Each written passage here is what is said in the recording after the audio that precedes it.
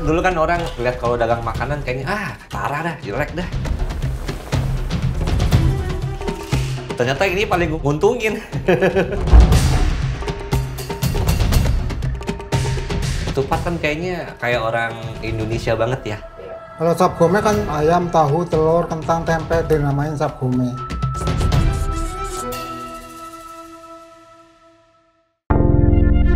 Vision Plus